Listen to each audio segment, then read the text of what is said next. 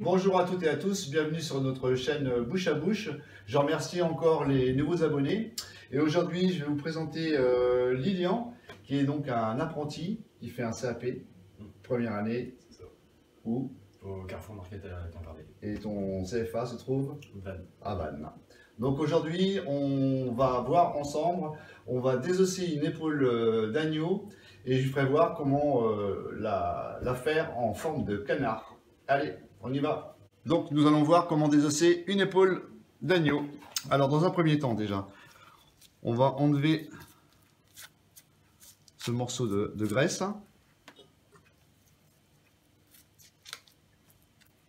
On va, on va la mettre bien propre.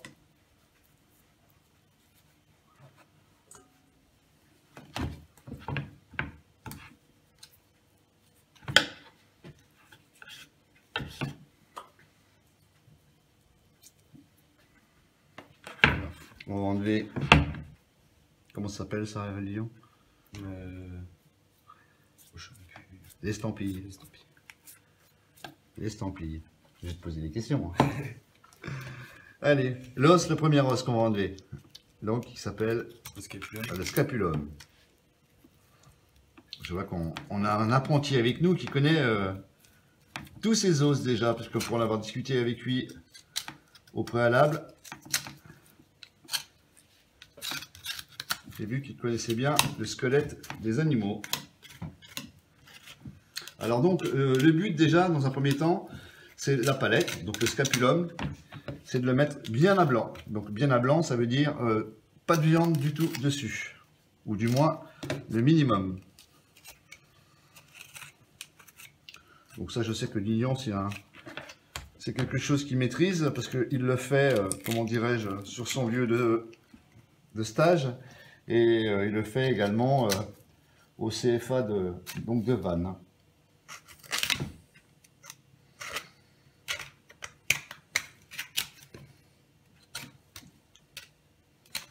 J'ai un petit souci.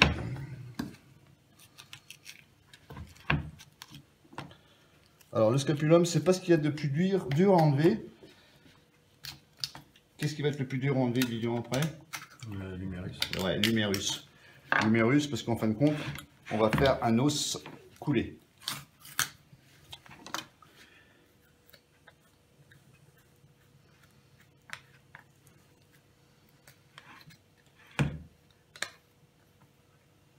Alors, bien évidemment, euh, Lilian ne va pas intervenir dans la vidéo, parce que déjà, je ne veux pas qu'il se, qu'il se coupe, on ne sait-on jamais, même si je suppose qu'il est très adroit.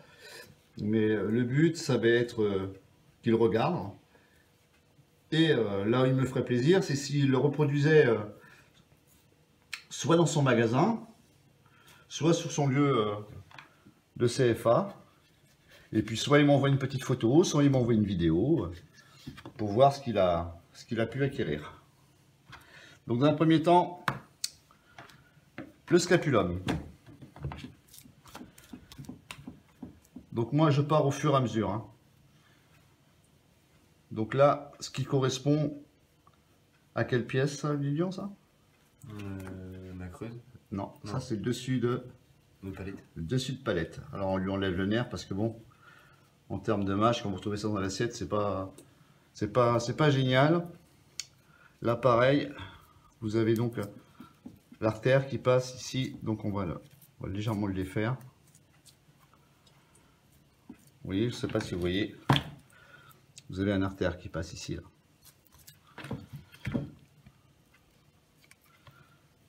Donc là, maintenant, le plus dur, ça va être d'enlever le scapulum.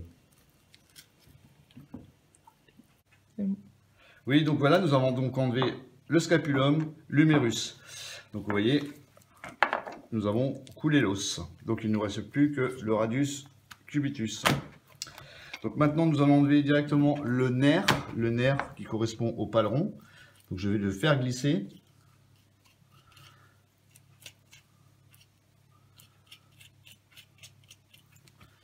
Je vais le chercher.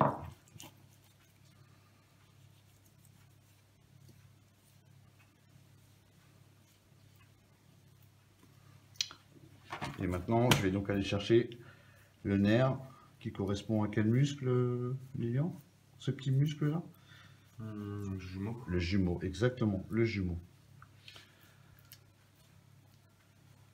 Ça va, ça n'a pas été trop dur à apprendre, le, le squelette, le long des muscles, tout ça?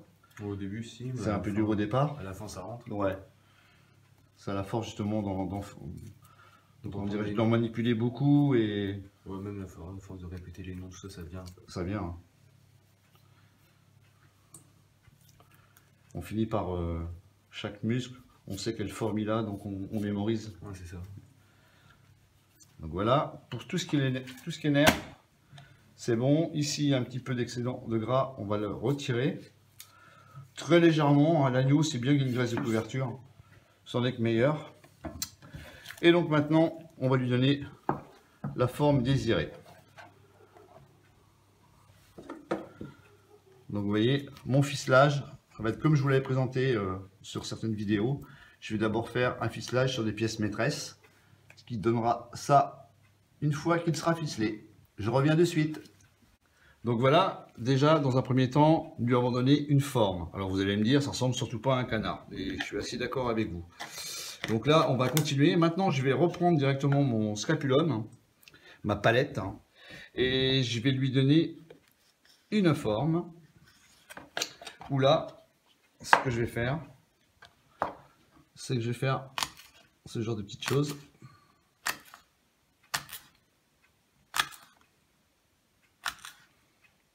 On coupe dans le cartilage. hein.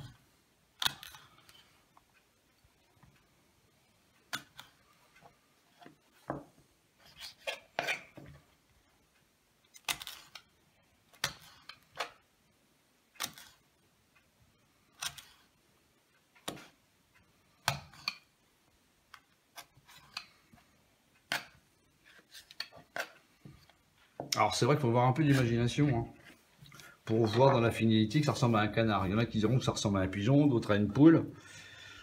Donc en tout cas, maintenant, je vais directement casser l'arête, hein, l'arête de l'os. Alors ça par contre, hein, euh, ne vous aventurez pas à vous servir de ce genre de- d'outil, la feuille, si vous ne la maîtrisez pas.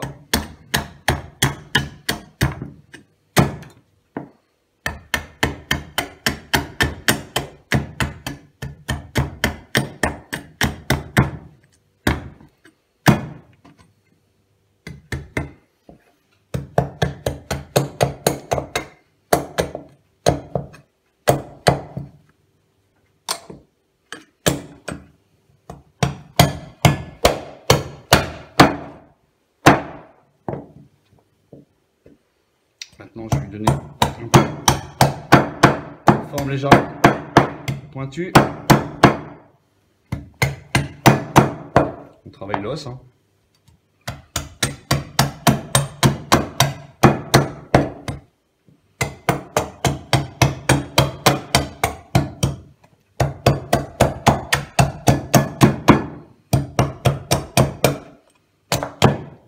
Voilà. Donc tout ça, je vais nettoyer mon plan de table.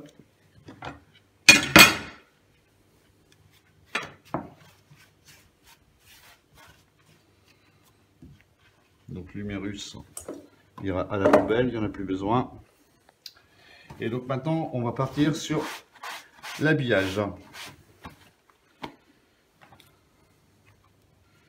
Donc pour l'habillage, je vais insérer directement mon scapulum à ce niveau-là. Donc déjà, ça ressemble un peu plus. Et donc, je vais chercher ce qu'il me faut. Donc voilà, nous avons euh, habillé notre épaule d'agneau. Donc on essaie de lui donner un, semblant euh, de volatile. Donc là, c'est entre... euh, ma fille m'a dit le poulet. Lilian, c'est pas prononcé. Pour l'instant, c'est vrai que ça ressemble pas spécialement à grand chose. Enfin, on voit que c'est un, volatile déjà. Donc là, je prépare euh, les morceaux de poireaux.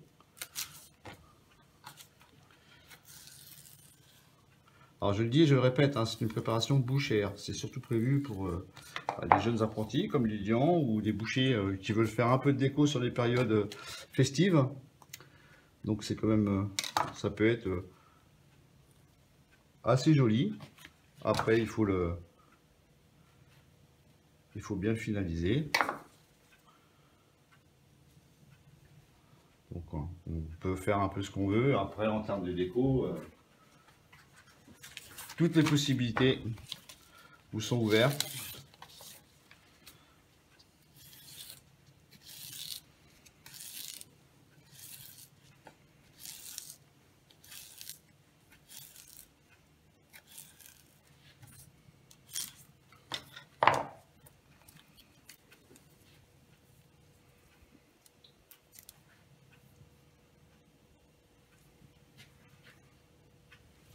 Un peu, c'est un peu trop long.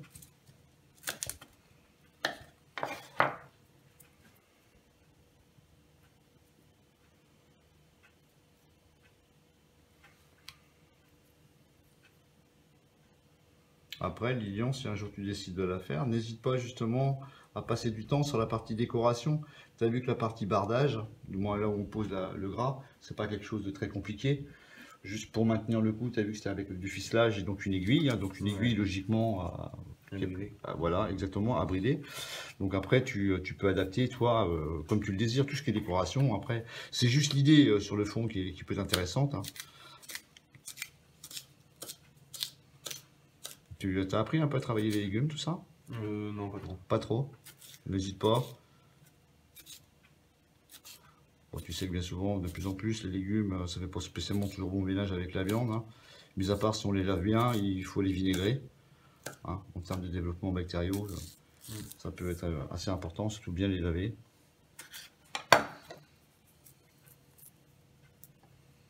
Donc après, je sais pas réellement si je vais m'en servir de ça, je vais voir. Donc voilà, après vous pouvez directement la décorer, soit avec quelques morceaux rouges de tomates éventuellement, et euh, complètement euh, la décorer. Donc moi je te conseille tout autour par exemple, euh, soit de le faire avec des, avec des légumes, avec des tomates tout au long éventuellement, ou, ou alors sur un lit par exemple de, de tranches d'ananas pour faire une jolie décoration. Et puis voilà, le finaliser. Donc euh, voilà pour ces petites techniques avec euh, mon ami euh, Lilian, donc pour cet échange de savoir sur des générations. Donc maintenant, s'il pouvait le mettre en application son magasin, ce serait absolument génial. Donc pour la semaine prochaine, donc il n'y aura pas de vidéo, vous comprendrez bien, c'est la période de Noël. Et donc à la rentrée, j'aurai un super module à vous présenter puisque j'ai acheté un demi-cochon. Donc on verra le désossage, la fabrication de saucisses, enfin tout un ensemble, donc il y aura euh, différentes séances. Je vous dis à toutes et à tous un bon réveillon, des bonnes fêtes de fin d'année, et puis euh, à bientôt. Salut, ciao